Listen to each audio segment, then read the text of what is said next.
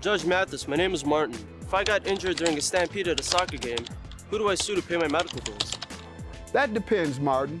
If the stadium owner was negligent or didn't follow proper safety precautions which led to the stampede, then he or she may be at fault.